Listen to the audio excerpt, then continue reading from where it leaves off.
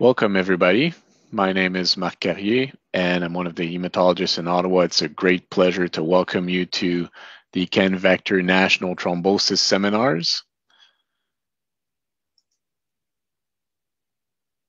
And as you're probably aware, because we started that in September, the CanVector National Thrombosis Seminars are monthly seminars that are hosted live throughout the academic year and featuring state-of-the-art thrombosis and venous thromboembolic type of diseases lectures presented by both Canadian and international experts. Uh, is this will be recorded and the recording will be available online uh, on the CanVector website. And uh, the Vector National Thrombosis Seminars is a self-approved group learning activity under Section 1 as defined by the Maintenance of Certification Program of the Royal College of Physician and Surgeons of Canada. The, these rounds have a, a planning committee and it's chaired by uh, Dr. Agnes Lee and a number of members, Dr. Skeith, Dr. Kimpton, Dr. Koulian, Dr. Berengat, myself, and uh, Ms. Nicole Langlois are helping to come up with the scheduling for these rounds uh, and uh, the topic and the presenters.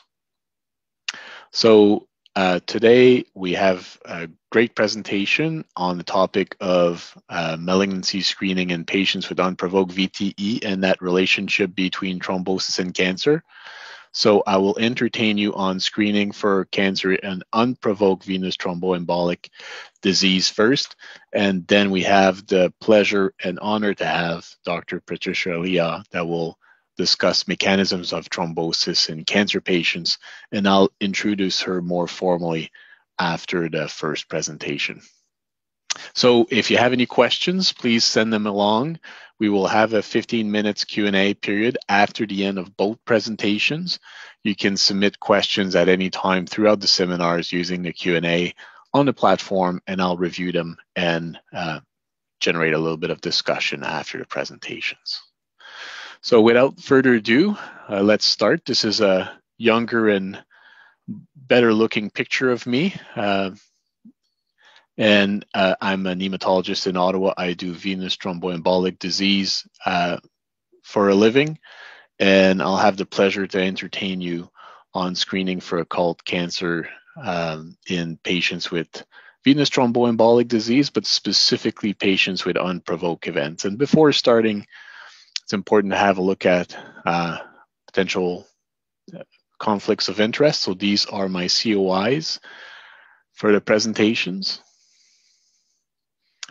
And over the next 20, 25 minutes, I want to do three things with you guys. The first thing is I want to describe the rates of occult cancer detection following venous thromboembolic disease. Uh, what's the rate for unprovoked, provoke? Uh, if we feel that it's high enough, should we try to screen patients for occult cancer? And if so, what would be the appropriate screening strategy? Is it something that is more limited or something that is more extensive in nature? And then at the end, when we have a look at the data, what is currently recommended in clinical practice guidelines and guidance from different nat- and national international society, um, discuss risk stratification and uh, other modalities that are up and coming, what's up and coming, and what is CanVector working on on that specific topic? What will be the next step? So I think in order to really have a good understanding of that clinical question and topic about occult cancer detection in patients with venous thromboembolism, it's really important to have a look at the past. So what type of rates, what type of screening strategies were we using? Because the past is important because it's modulated it's modulating what we're actually doing in the present. And having a, having a look at the recent data having a look at what's currently recommended in clinical practice guidelines and then what's the future? What are the trials? What are the next step? What are the new trials up and coming? What are we wanting to do and for which patient population? So for these different steps present past present and future I'll try to go through the prevalence. So we'll start with the past. I'll go through the prevalence. What did we think was the prevalence of the disease not so long ago? How did that influence the type of screening? How did that influence clinical practice guidelines? Um, and then we'll move on into the present and see where we're at now and what we're actually doing. So we wouldn't be able to talk about occult cancer detection in patients with venous thromboembolic disease without showing a, a picture of Professor Armand Trousseau, who has popularized or made cancer associated thrombosis on the medical map. He's not the first one that has described the relationship between cancer and thrombosis, but is one that is often referred to as uh, the one that has done so. What's important and interesting for us, not for Professor Trousseau, but what's interesting about him is that he actually had an upper extremity uh, proximal deep vein thrombosis, if you read his memoir, and actually died of stomach cancer uh, a few months after. So not only did he actually describe the phenomenon, but really lived it per se, and had a venous thromboembolic disease that led to an occult cancer detection. And as you can just think as clinicians, if we think that we can have signs, clinical signs that maybe our patients have cancer, that's really appealing. And we want to, if we can find a high risk population, maybe we want to look into that a, a little bit more. And what is the prevalence of occult cancer detection in patients with venous thromboembolic disease? Well, it can certainly be the early signs of an occult cancer, but what's actually the prevalence? If you look at the systematic review and meta-analysis that looked at the medical literature all the way up to 2008, and you stratify uh, the prevalence based on if the clot was provoked or unprovoked in nature, you can see that folks that have an unprovoked venous thromboembolic disease, so proximal lower limb deep vein thrombosis and PE, had a high risk of having occult cancer detection. So one in 10 patients with unprovoked VTE uh, had a occult cancer diagnosis within the next 12 months following the VTE diagnosis. So one in 10 is quite of high. And that led to uh, clinicians really looking into that uh, a little bit more. Now, what's the long-term risk of having occult cancer if you have a, a VTE? Well, it seems to be really front-loaded. And this is well illustrated here by a case control study by Paolo Prandoni and colleagues, where all patients that had venous thromboembolic events were treated with six months of anticoagulation, and then they were followed over time for incidents of occult cancer detection. And the cases were obviously those with symptomatic VTE, and controls were uh, folks without VTE. And you can see that the two curves are very similar after the initial six months uh, and therefore, you know, ammunition or maybe an argument to say that if you were going to be found or if you go, were going to find a, cold cancer in patients with unprovoked VTE, it seems to be front loaded, probably within the first six to 12 months. And um, when we look at the underlying reason, so as I mentioned, clinicians, it seems to be appealing to be wanting to try to find that cancer, right? We always prefer to make errors of commission and omission. Why, why is it appealing to us? Well, we think that if we can find that cancer sooner, it probably will lead to you know more curable type of cancers being found and therefore decreasing morbidity and decreasing mortality for these cancers. You could argue that the treatment of VTE may be tailored a little bit differently if you know that they, they have underlying cancer. But on the flip side, why would you not want to do it? Well, as soon as you have a new diagnosis of VTE and you're talking to a patient, as soon as you present or discuss the word cancer, you're obviously causing anxiety. You may do additional testing that may lead to unnecessary additional investigated investigation because of incidental findings. So, you know, putting a bit more anxiety to patients. And there's obviously cost associated to it. So the risk and benefit of the intervention is a little bit unclear. Uh, but given that you know 10% of folks with unprovoked VTE may have an occult cancer diagnosis all the way back to 2008, you know you can see that investigators and clinicians they would want to look into different ways to diagnose these. And for a reason or another, when we think about types of screening strategies for occult cancer detection in the VTE literature, it's categorized or stratified in two different strategies. It's limited, which is usually your history, physical examination, basic blood work, and a chest x ray, and more extensive. So that's a combination of a limited cancer screening strategy plus or in combination with a CT abdomen pelvis, ultrasound of the abdomen, tumor markers, PET scans. And all the literature that we're going to review today is always looking at either a limited cancer screening strategy or a more extensive one that is a combination of a limited and additional in investigations. And when you look at all the medical literature using the same systematic review and meta-analysis, if you looked at all the medical literature published all the way up to 2008, and you look at what's the incremental value of adding additional diagnostic testing to a limited screening strategy, you can see that CT abdomen pelvis was the best bang for your buck. So doing CT abdomen pelvis to patients with unprovoked VTE seems to be associated with a statistically significant increased risk of having a occult cancer detection, or more so than ultrasound abdomen pelvis or different tumor markers. And that led to incorporation in clinical practice guidelines. There's no randomized control trial. These are observational, often non randomized studies, but that led to incorporation into some clinical practice guidelines. And this is why we do certain things. So the ACCP back then, if you look at the versions before 2008, um, didn't really have any recommendation for occult cancer detection. But if you look at the NICE guidelines from the United Kingdom, they would recommend that all patients diagnosed with unprovoked VTE should be offered a limited screening strategy. And in patients over 40, a CT abdomen pelvis and a mammography for a woman was also suggested. And this is based on the NICE guidelines in 2012. And that's the reason why a lot of us before 2012 and sometimes more recently thought, well, if we're going to look at occult cancer uh, for patients with VTE, the money is in the belly, and we should do some form of diagnostic imaging in the belly, and that's based on this data. So, what are the take home message from the past? Past meaning up to 2008. Well, the prevalence of occult cancer is about 10%. So, one in 10 patients with unprovoked VTE will have cancer diagnosed in the next 12 months. The risk seems to be similar to the non-VT population after the initial six to 12 months. So the risk is front loaded. So if you want to do an intervention and try to find him, it's early on.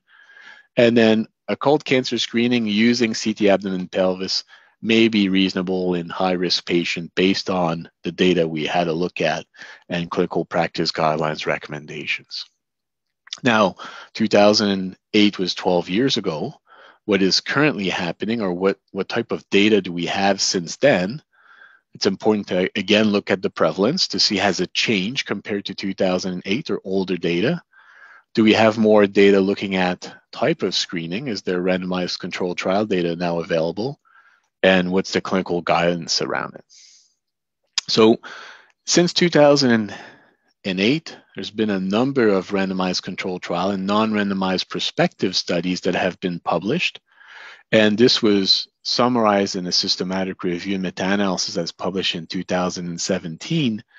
And if you pull the data together, it looks like the prevalence of occult cancer detection is much lower these days compared to what it was in the past. Remember, we used to say in 2008, and that's what's in medical textbook, one in 10.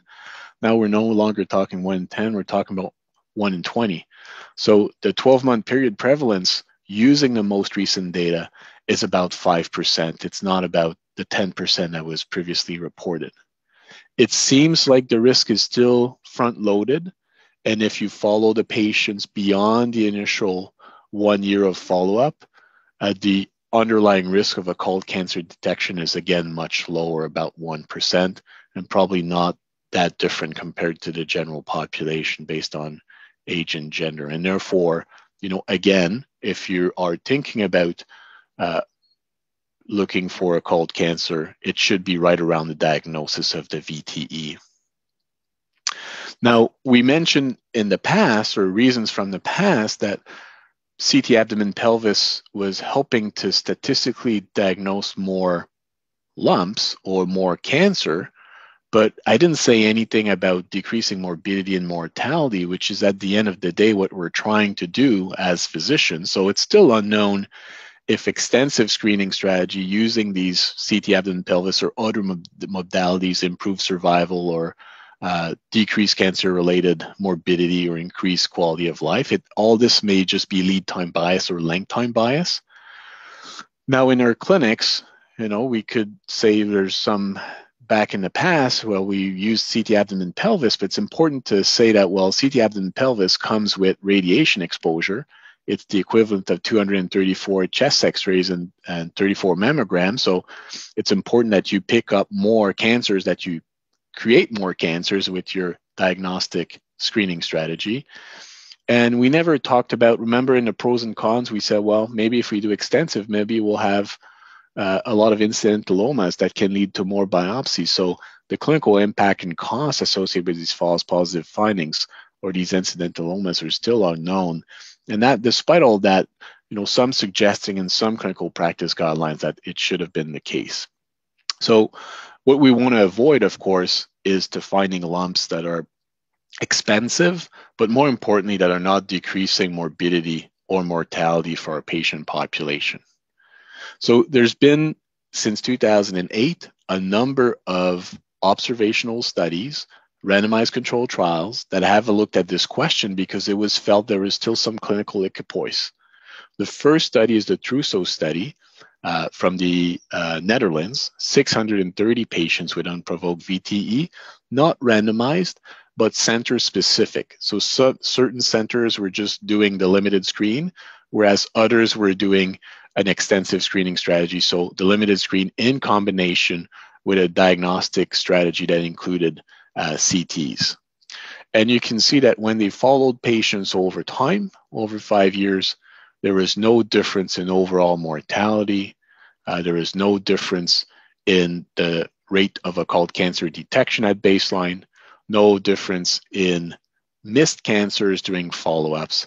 And therefore, the Trousseau study was probably the really first study saying, well, wait a minute, although clinical practice guidelines are saying that we should maybe consider uh, some form of extensive screening strategy, maybe using a CT abdomen pelvis, we don't see this materializing into hard outcomes when we actually do uh, observational studies, interventional studies that are prospective in nature.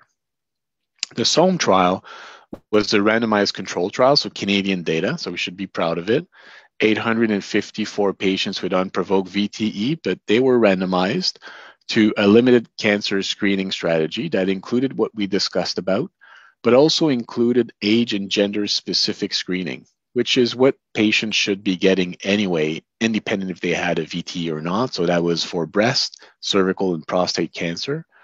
So they were randomized to that limited occult cancer screening strategy or a more extensive one that combined the limited one, but also in combination with a CT abdomen pelvis.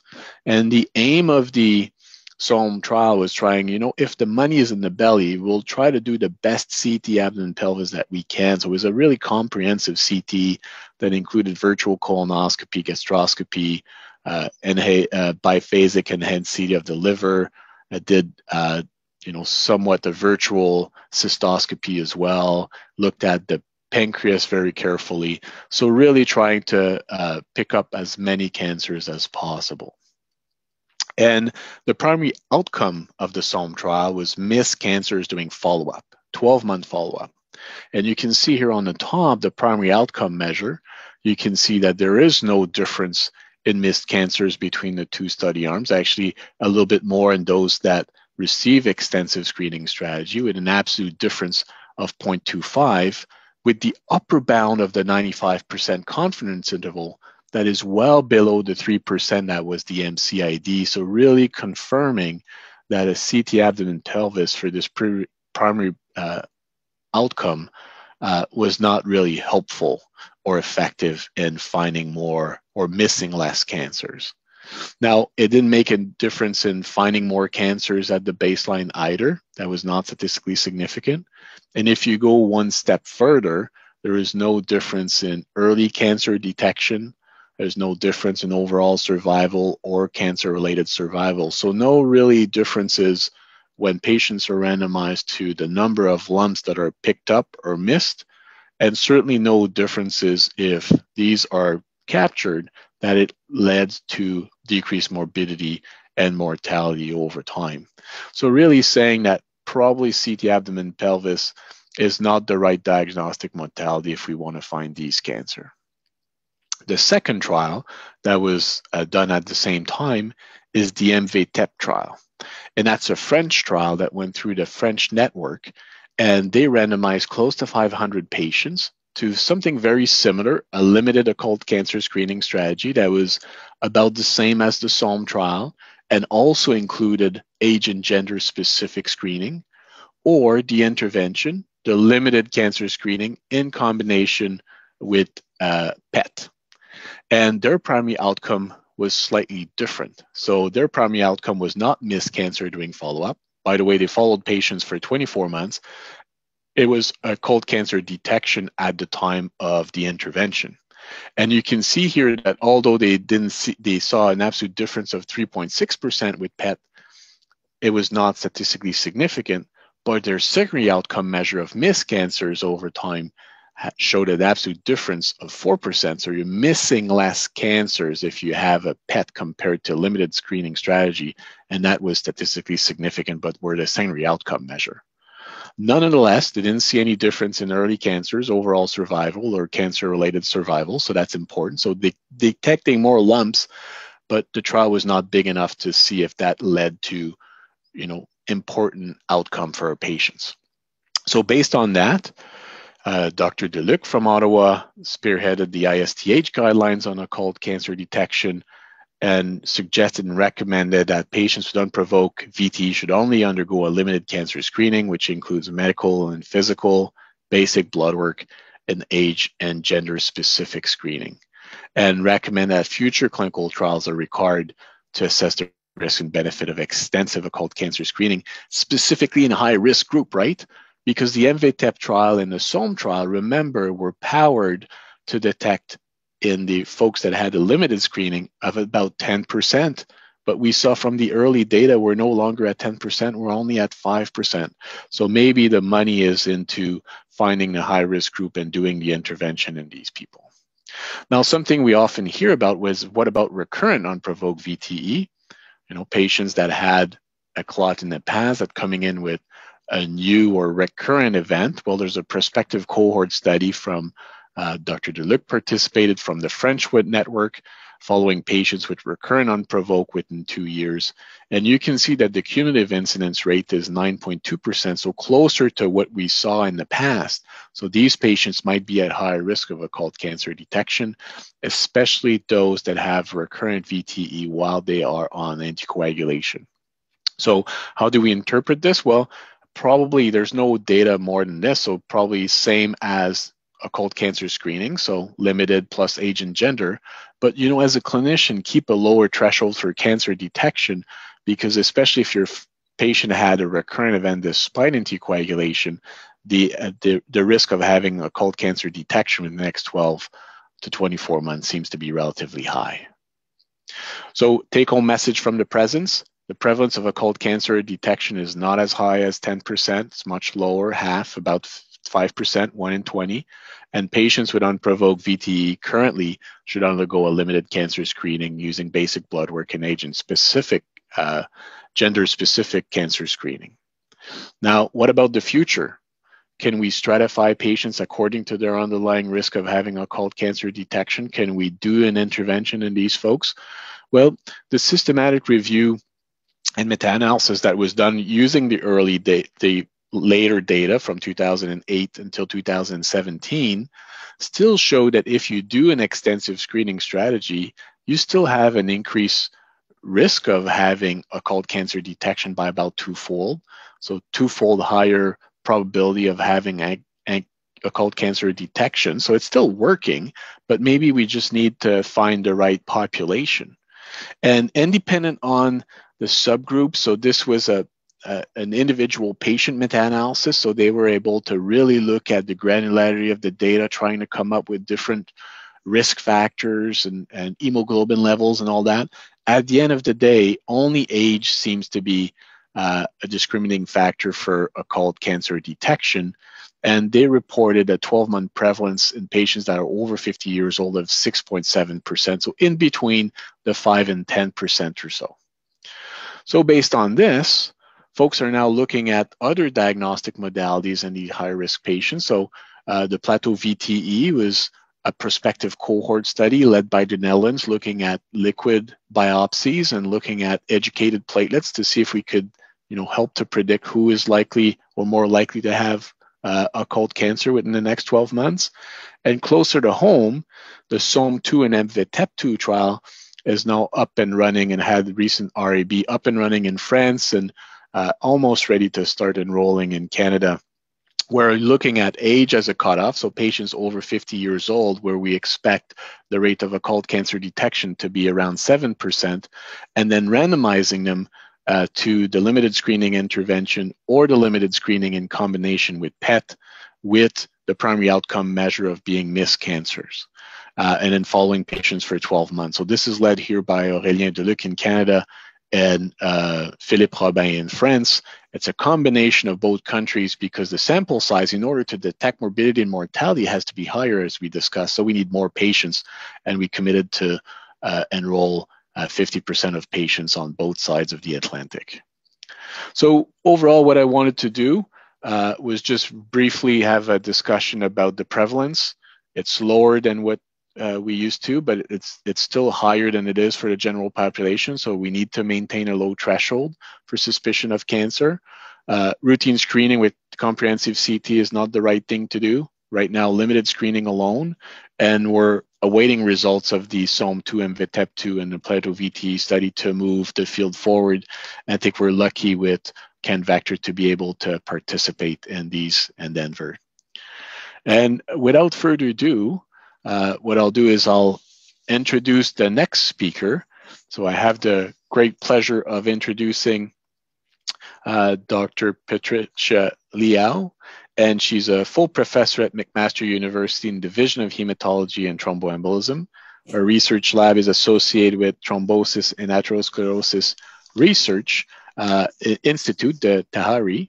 Her overall research interest is to study the mechan the mechanistic links between blood coagulation, inflammation, and innate immunity with focus on translational studies in thrombosis, sepsis, and trauma.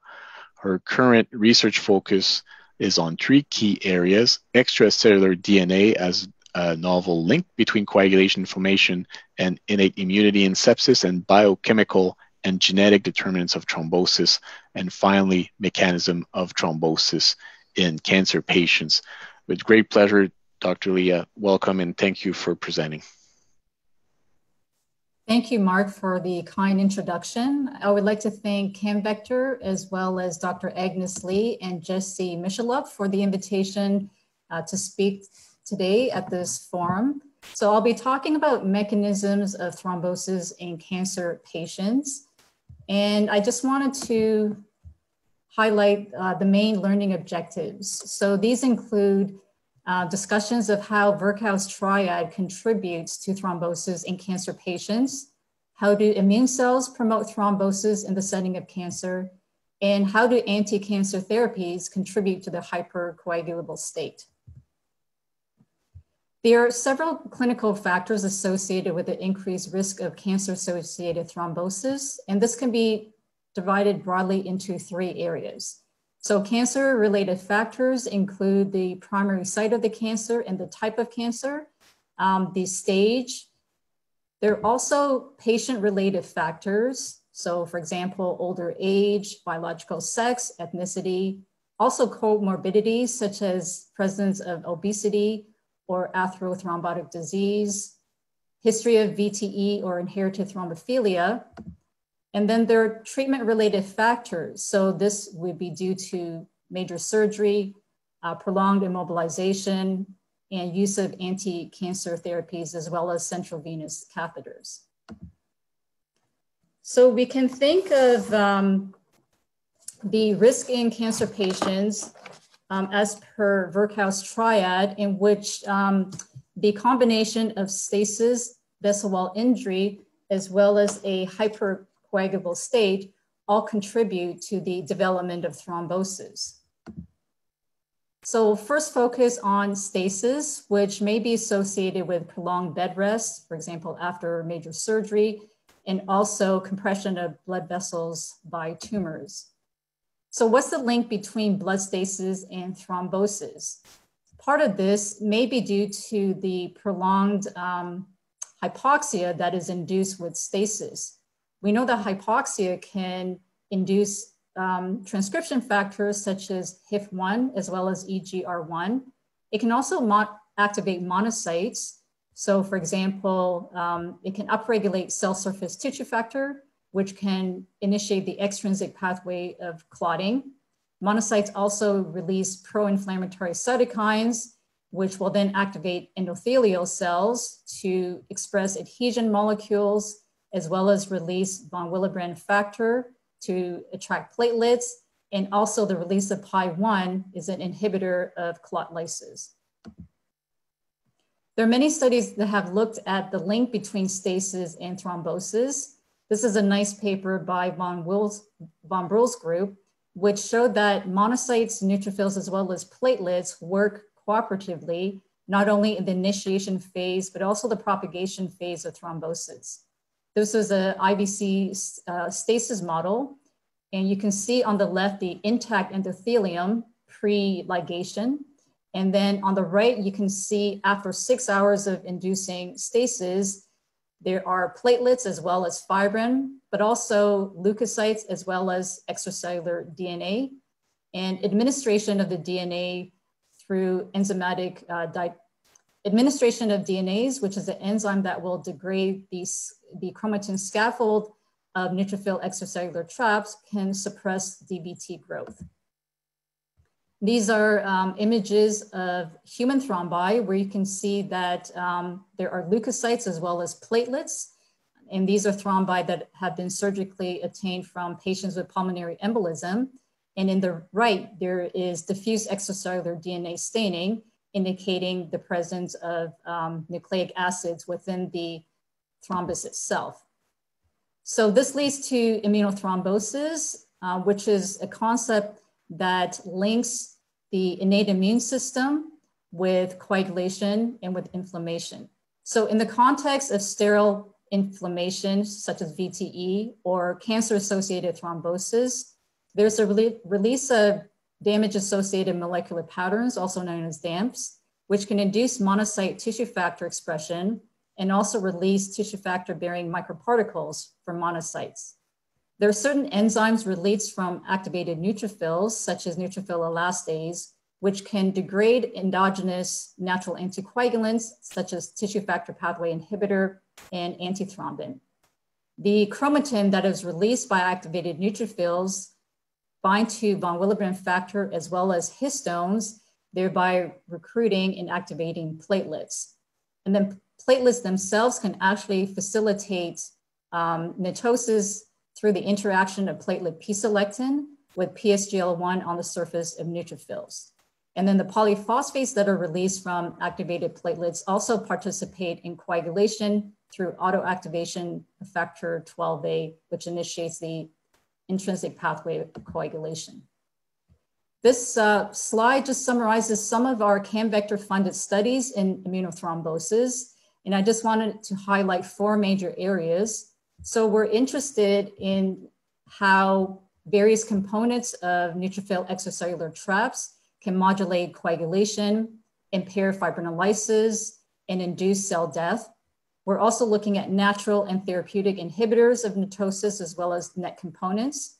And in animal studies, we're identifying strategies to remove the DNA scaffold of NETs um, through enzymatic digestion, for example, with administration of DNase 1, or also neutralizing histones, which are cytotoxic and are able to activate platelets. So we're neutralizing some of the harmful effects of histones with heparin. And then we also have interest in how these components may have prognostic utility for disseminated intravascular coagulation, as well as sepsis. So in terms of Virchow's triad in patients with cancer, um, there have been many studies that have looked at the effect of anti-cancer drugs on vessel wall injury and also its ability to promote a hypercoagulable state. So in our group, we've done several studies that have looked at some of the procoagulant effects of anti-cancer therapies. So for example, we've looked at lung cancer chemotherapy agents, and we've shown that on endothelial cells as well as on monocytes, um, these platinum-based chemotherapy agents can induce um, tissue factor decryption. So it's basically a mechanism to convert tissue factor from a, a non-procoagulant form to one that is able to initiate coagulation. So there are two major mechanisms, one involving the expression of phosphatidylserine, and then the other one that is through PDI mediated decryption through disulfide uh, bond formation. And we found that some of the lung cancer chemotherapy agents can induce um, PDI dependent tissue factor decryption. We've also looked at the chemotherapy metabolite acrolein, which uh, we've shown to induce uh, thrombin generation in a plasma-based system. And it also can impair natural anticoagulant pathways in animal-based as well as cell-based models. Here's some images, some figures from the paper where we showed that the presence of acrolein can induce phosphatidylserine expression as well as tissue factor exposure on endothelial cells. And in reference to breast cancer chemotherapy agents, um, this is a paper by Laura Swiston and Sean Mukherjee. They've demonstrated that if you take whole blood and you expose it to epirubicin and you extract the amount of DNA that's released by the blood cells, that the DNA can initiate thrombin generation through the contact system we also found that um, in breast cancer chemotherapy patients, 20, 24 hours after the administration of chemotherapy, we see elevated increases in DNA, which correlates with the uh, procoagulant potential of the plasma from these pa cancer patients. In healthy mice, we found that injection of various uh, chemotherapy agents, so in this case, we're looking at epirubicin, um, increase not only um, the DNA levels, but also thrombin, antithrombin complexes. And this was measured six to 48 hours post chemotherapy treatment.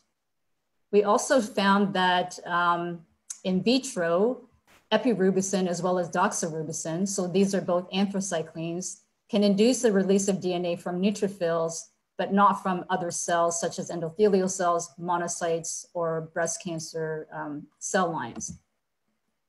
And then finally, we've also demonstrated that lung cancer chemotherapy agents can also induce the release of tissue factor positive as well as phosphatidylserine positive uh, microparticles from various cells, including um, lung cancer cells. So then there are also procoagulant effects of um, the cancer cells themselves.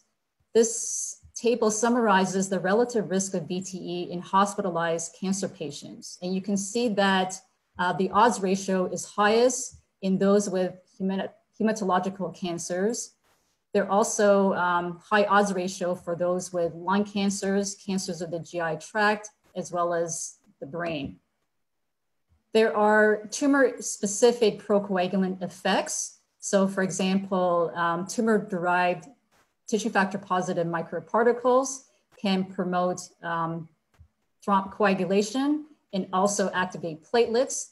The activated platelets through the expression of p-selectin interacting with PSGL1 on neutrophils can accelerate netosis as well. And then many components of the neutrophil extracellular traps, as we mentioned earlier, can activate um, coagulation and also induce endothelial cell death and cause platelet activation as well. And finally, there are tumor-specific molecules such as GCSF, which help to prime neutrophils for um, subsequent netosis, and also interleukin 8, which has been shown to accelerate netosis as well. this is a nice summary of some of the procoagulant effects in pancreatic cancer cells. So again, you have the release of um, tissue factor positive microvesicles, which can accelerate the extrinsic pathway of coagulation.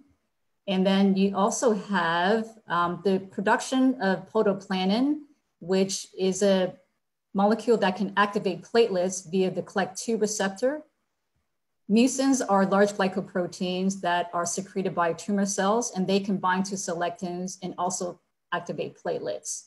Um, there's also heparinases, which will remove the heparin sulfate uh, moieties of the glycocalyx, thereby uh, inhibiting its ability to catalyze antithrombin mediated inhibition of coagulation factors.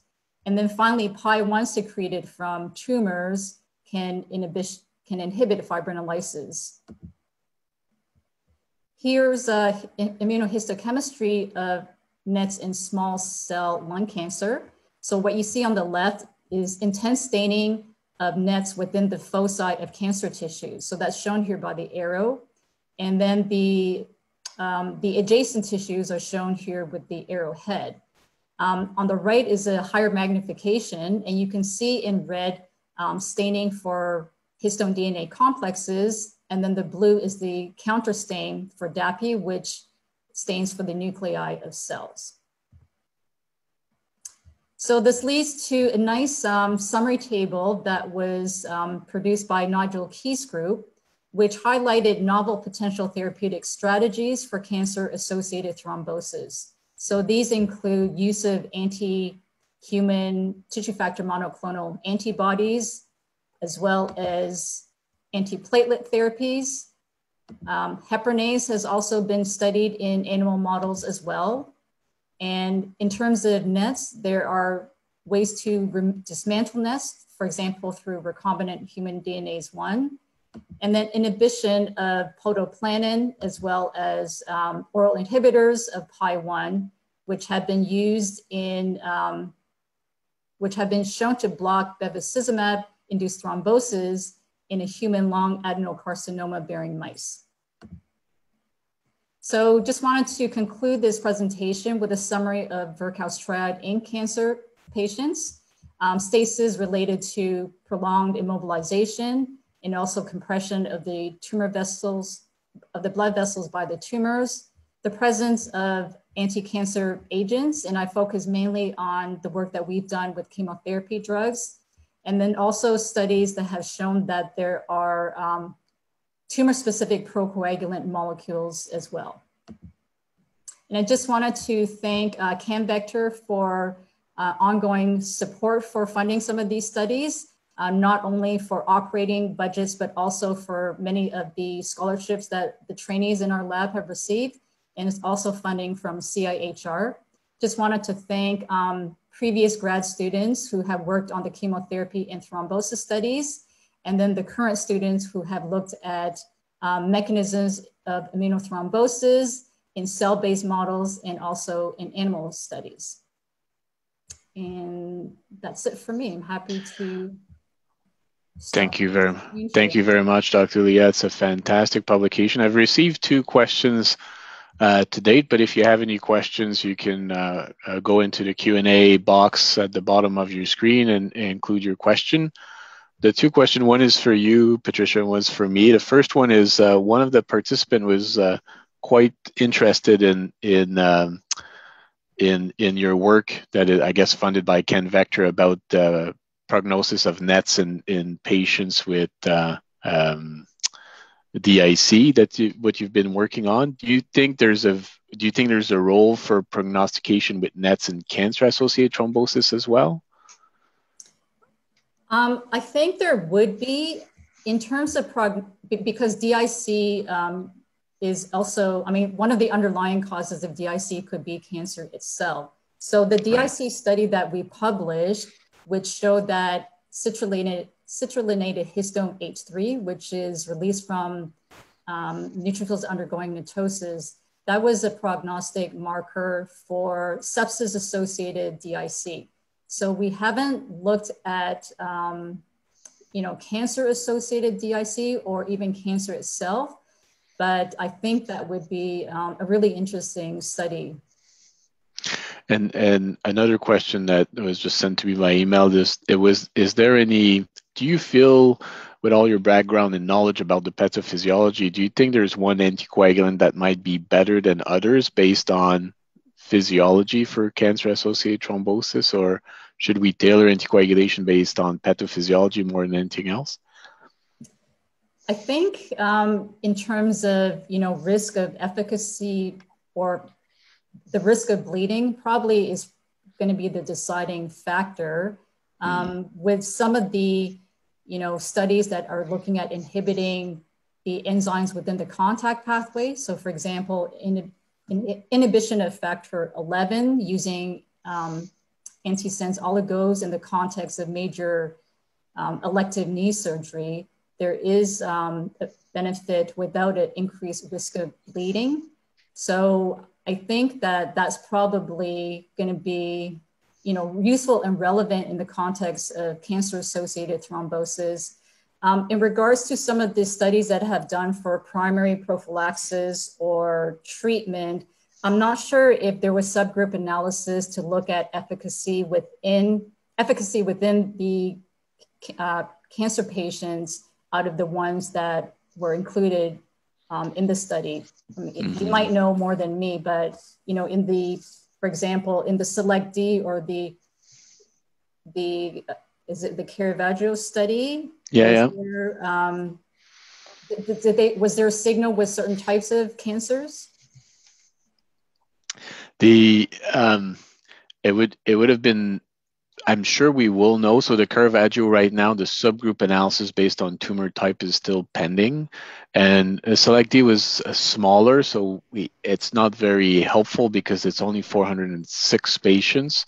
And believe it or not, the the um, the subgroup analysis specifically for Okusai VT, although it's been published 18 months, what we have to date is just subgroups through uh, a publication for hematological and gastrointestinal, not more stratified than that, and seems to be consistent with what you know the main paper has shown.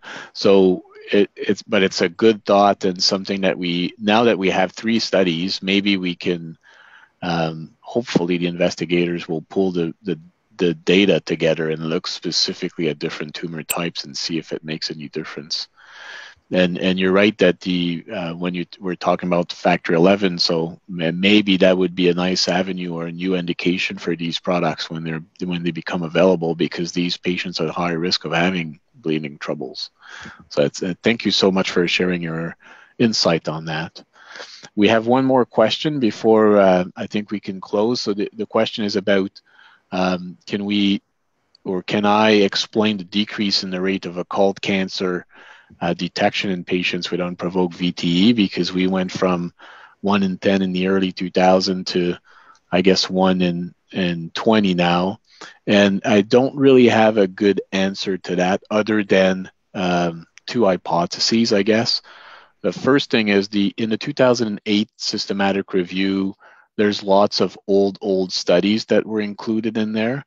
And I think uh, practice has changed since then, and primary care is better, and and people have screening for breast and cervical and prostate and all that. So I think there's probably a certain component of that that people don't necessarily need to wait to have their VTE before they're diagnosed with uh, their underlying cancer. I think you know we're picking up with primary care a bit more cancers and and hopefully uh, change morbidity and mortality that way. The second thing is because of the the 2008 systematic review included older studies. I think it included a lot of studies that included patients that uh, you know when you see them in clinic, you don't have a diagnosis of cancer, but you know they've they're catectic and you know they have big ascites or you know you know they smell like they have cancer and that was not the case for those that were or the studies that were published after 2018 because this was meant to be screening right so for example if you picked up a, a long nodule or a long lesion on your CTPA, these were not included in MVTEP or SOLM, or these were not the type of patients we're looking for. Looking for, you know, patients otherwise healthy that have VT and then trying to do a bit more screening to them. So I think that might have led as well to a slightly lower underlying prevalence of the disease. So we don't know for sure, but these are two hypotheses that uh, may be reasonable. I have a question for you, Mark. You mentioned yeah. under the future directions that there might be um, some use in including biomarkers in the predictive analysis. Um, were those determined in advance? Yeah, so the, the patient educated platelet study from the Netherlands, they were, um, there's a lot of science behind that that I'm unfortunately quite ignorant on, and I can't really uh, tell, but these were derived from different uh, type, from patients with different types of tumors, and then they were able to look at the imprint of the platelet uh, encounter with the tumor cell. And apparently, they can say with that liquid biopsies looking at platelet educated um, cells that they can actually say from what part of like is it a GU or a lung or GI type of tumor depending on the encounter with the tumor cell. It's changing the, the cellular markers. We actually participated a number of uh, centers here in Canada to that study, and um, it's closed. They're analyzing and finishing off enrollment, so we'll have a bit more. I guess soon we should have the data because they were following patients for 12 months, but we don't know if in a you know in a sure a higher risk population, but it's not cancer patients. You know, trying to use it as a screening method if it's going to be helpful. Um, so uh, we'll we'll soon see. I hope it's answering your question a little bit. Yes, it does. Thank you. Well, uh, I think it's time for us to go back in the lab or on service or in clinic, and therefore I would really, really want to thank uh, Dr. Patricia Liao for your great presentation today and, and taking the time to present a little bit of the data that you're doing with uh, CanVector funding as well. It's always good to see the, the, the results of that. So thank you and thank you for presenting. And please stay tuned for the next seminar in January and complete your evaluation um, that will be sent to you by email or through the website. And you have here the dates for the next webinars in the near future. Um, so thanks for joining us, uh, having lunch with us uh, through these CAN Vector rounds, and hopefully you enjoyed it. Thank you, Patricia. Thanks to Jesse and Caleb for the organization, and we'll see each other in January. Thank you very much, Mark.